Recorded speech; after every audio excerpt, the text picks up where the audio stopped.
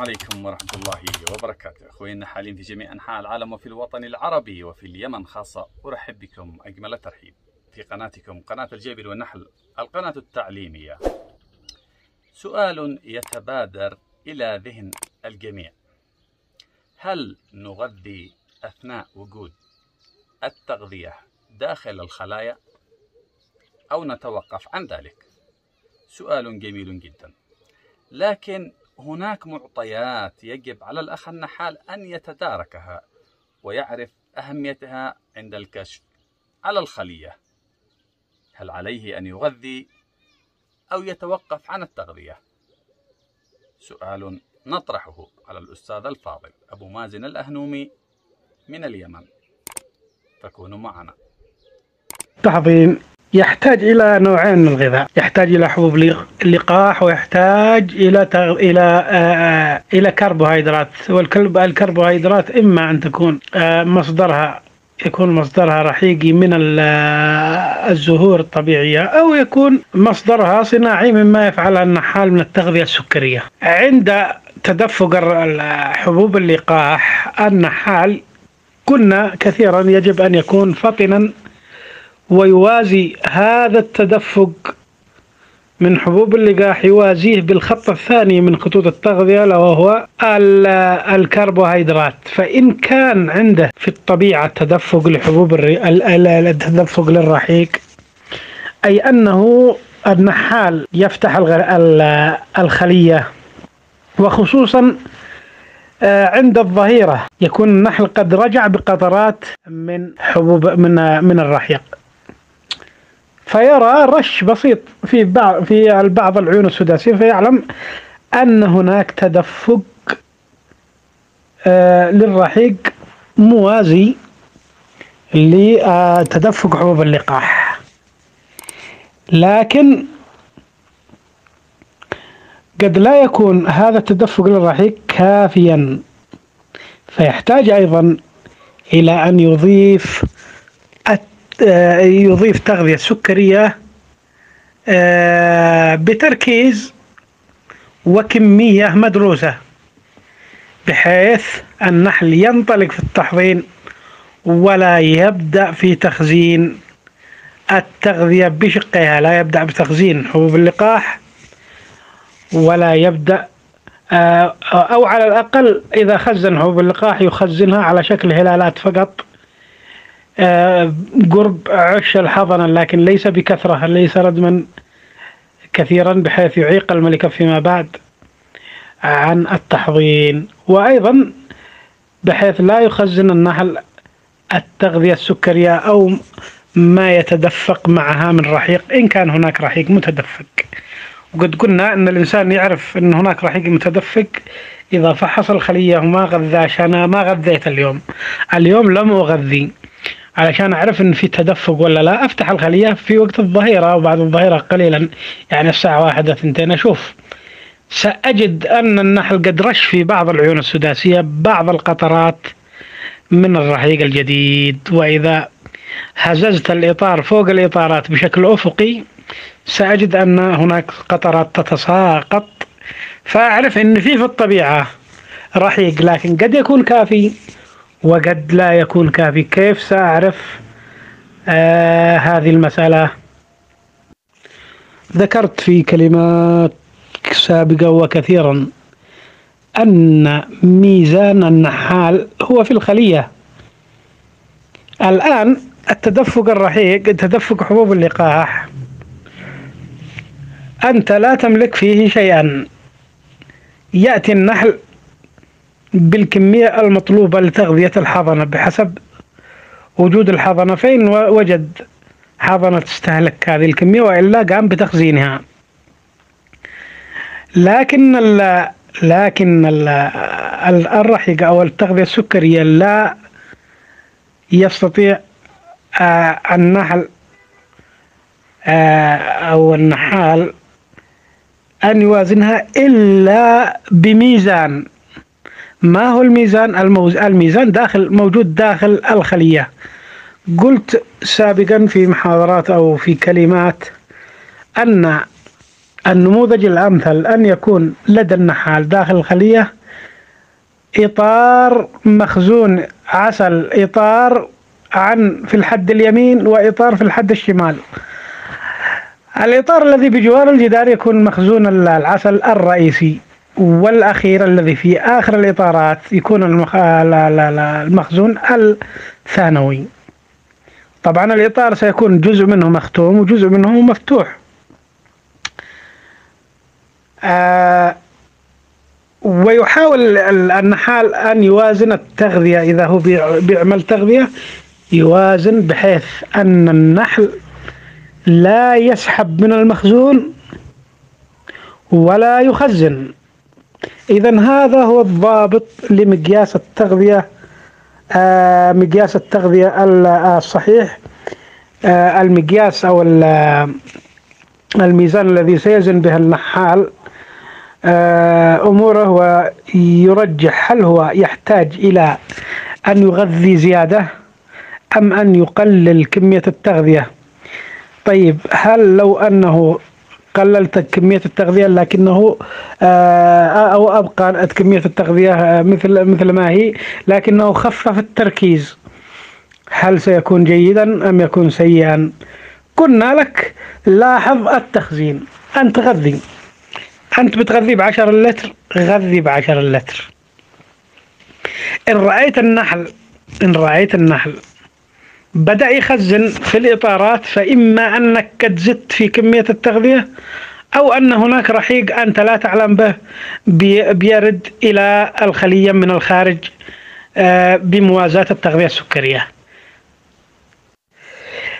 إن رأيت الإطارات إذا إن رأيت النحل يرش في الإطارات قطرات جديدة آه، من التغذية السكرية فاعلم أن التغذية السكرية إما أن تكون زائدة عن الحاجة عن حاجة النحل فبدأ النحل بيعتبره كأنه موسم فيبدأ يسابق الملكة على العيون السداسية ويخزن هذه التغذية بسرعة.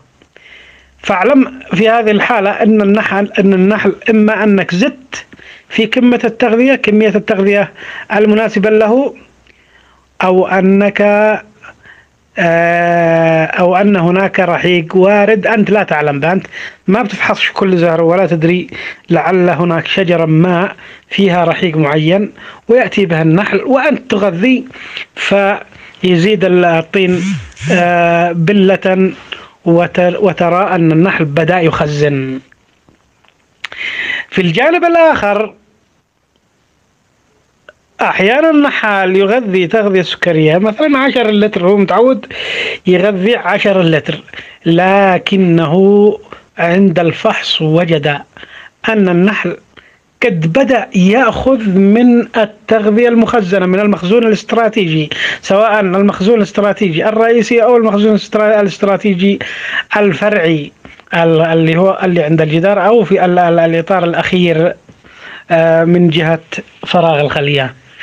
إذا رأيت النحل بدأ يسحب من هذا الإطار ولو كنت بتغذي فاعلم يقينا أن التغذية السكرية التي تقدمها له قليلة فعليك بزيادة الكمية في اليوم الثاني حتى ترى أن النحل اكتفى ولم يعد يسحب من من المخزون. إذا هذا هو الضابط التغذية أو المخزون الاستراتيجي داخل الخلية. لا يزيد عن إطارين أبدا ما عدا الهلالات التي لا بد منها. أحيانا الهلالات العسلية تكون في أعلى الإطار أحيانا وإلا فالنحل إذا اتجه إلى التحضين بقوة فإنه يستهلك هذه الهلالات ويبدلها بحاضنة من الخشبة إلى الخشبة أفقيا ورأسيا. ف أنت عندما تراه يستهلك من مخزون المخزون الموجود في الهلالات فلا تبتئس. أهم شيء أنه سيوسع هو سيتوسع في التحضين يريد أن يفرغ مكان من أجل حظ من الخشبة إلى الخشبة رأسيا وأفقيا. لكن إذا رأيت يسحب من المخزون الرئيسي الذي هو المخزون الاستراتيجي الرئيسي الذي هو الإطارين يمين وشمال حد يمين وحد شمال إذا رأيته يسحب منهما فاعلم أن التغذية ناقصة أو أنك تقدم تغذية ولا يوازيها رحيق. المهم النحل محتاج. بيستهلك التغذية السكرية التي بتقدمها له وفي نفس الوقت يذهب ليسد ليسد ما تبقى من حاجته. من ذلك المخزون الاستراتيجي. فعليك في هذه الحالة أن تزيد كمية آه، كمية التغذية السكرية. وإلا ستفاجأ أن النحل بدأ يردم حبوب لقاح أكثر ويستهلك من المخزون الاستراتيجي ويضيق على الملكة بحبوب اللقاح ثم قد ينفذ منه حتى المخزون الاستراتيجي إن كان إن كنت أنت مهمل جدا جدا. فقد يفقد المخزون الاستراتيجي آه، بالنسبة له تبدأ الملكة في الانحسار في وضع من وضع البيض وتتقلص تتقلص رقعة آه، وضع البيض على حساب يعني وتزيد نسبة آه، أو رقعة الحبوب اللقاح المخزنة. إذا رأيت النحل بدأ يضيف في إطارات التحضير قطرات من من التغذية السكرية باستمرار فاعلم أن تغذية تغذيتك السكرية إما زائدة في الكمية فتنقص منها أو أن تغذيتك السكرية يوازيها رحيق متدفق من الناء من الحقل وأنت لا تعلم به فعليك في كلا الحالتين أن تقلل كمية التغذية السكرية حتى لا تراه أن يرش حتى لا تراه يرش. وبهذا لن يحصل عندك blocage أبدا blocage حضانة. أحمد المقدري يقول وصلت عشر إطارات فما عاد آه آه تقلصت رقعة التحضين وزادت على أو تزادت آه رقعة آه، مخزون حبوب اللقاح على حساب آه، التحضين أو زادت آه، زاد زاد مخزون العسل على حساب التحضين. لم تعد تحضن مثل ما كانت من الخشبة إلى الخشبة. ارفع دور ثاني يا أحمد. ارفع ال لا لا لا ارفع الحضنة إذا رأيت عندك حضنة مغلقة. ارفعها إلى الأعلى ولو فيها جزء من العسل جزء عسل وحضنة عادي ارفعه ارفعها إلى الأعلى ونزل أساسات. في الدور الأول نزل أساسات.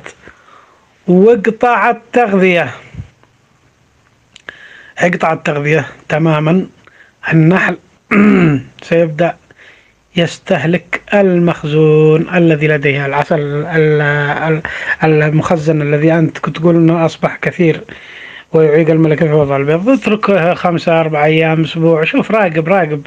أنت عينك ميزانك نحن نعطيك إلا نعطيك إلا المفاتيح وأنت فتح الباب هو عليك. دعه يستهلك هذه الزيادات في آآ آآ في بناء الأساسات الشمعية. عندما يبني الأساس الشمعية ستبادر الملكة في وضع البيض وخصوصا عندك حبوب حبوب لقاح أو مخزون من حبوب اللقاح ستبدأ في وضع البيض وتدريجيا سترى أن رقعة الحضنة بتزداد على حساب رقعة العسل وتبدأ تنضبط عندك العملية من جديد. بعد ذلك ضع حلقة في أذنك. آه ولا تنسى أن توازن التغذية السكرية مع تدفق حبوب اللقاح كما أسلفنا. إن شاء الله يكون الأمر واضح. تحياتي للجميع.